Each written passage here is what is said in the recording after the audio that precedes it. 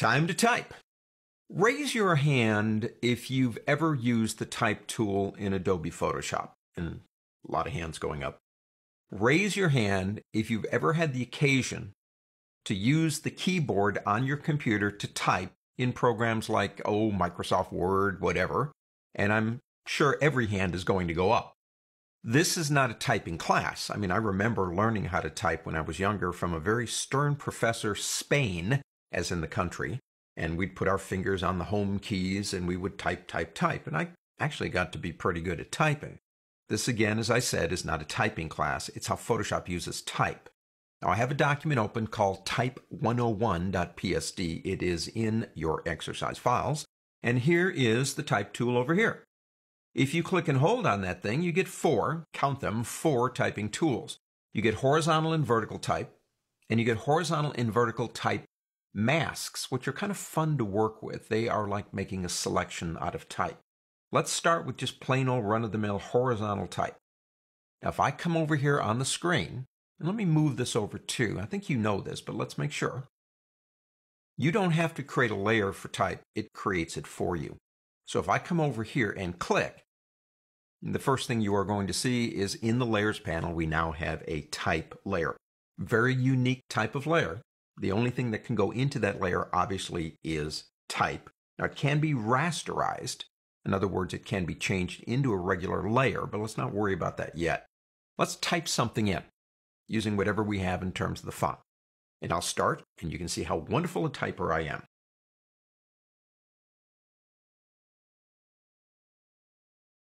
The Quick Brown Fox. You know where I'm going with this.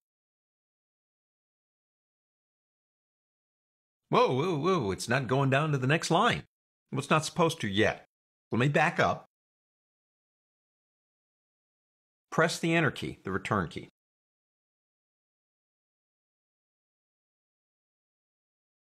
The quick brown fox jumped over the lazy dog's back. Now, to me, who took the time out of their life to try to figure out a sentence that had every letter of the alphabet in it? And there it is.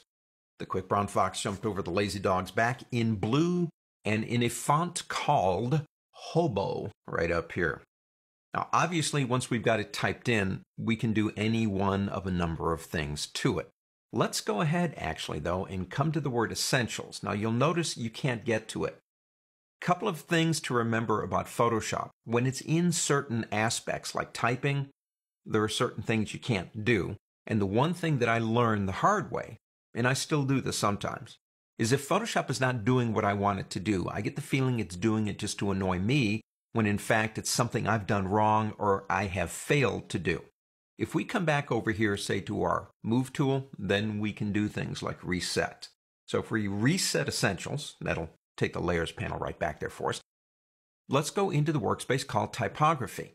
Now we're in a different workspace, and I know we talked about workspaces, but this should kind of emphasize the fact that if you need a certain set of tools and you've got the actual workspace for it, it makes sense to use it. Okay, so we got a lot of stuff going on here.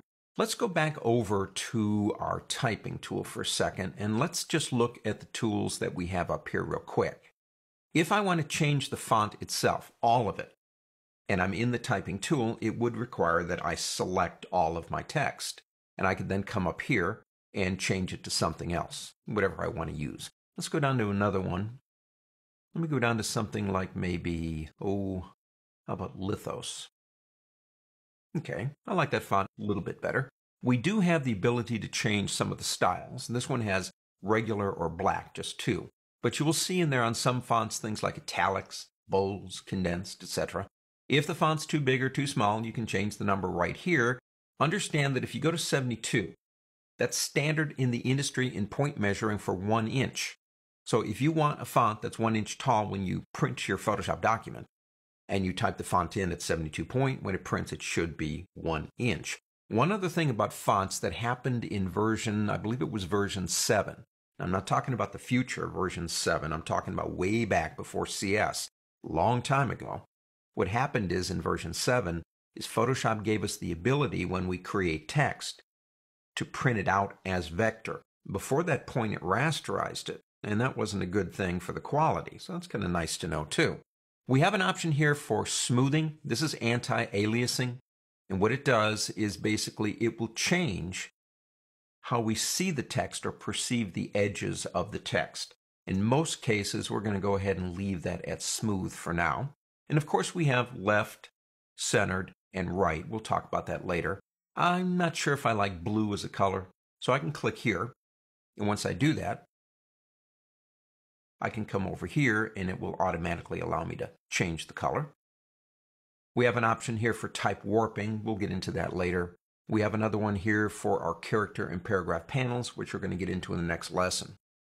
If you like what you've done to the text, all you really have to do is press your Enter key on your 10 keypad, not the Enter key in your keypad, because that'll just take you down to the next line.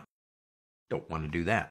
But if I press the Enter key on my 10 keypad, what that does is it kind of locks in the changes, gives me back my cursor. I can click again and begin typing more text.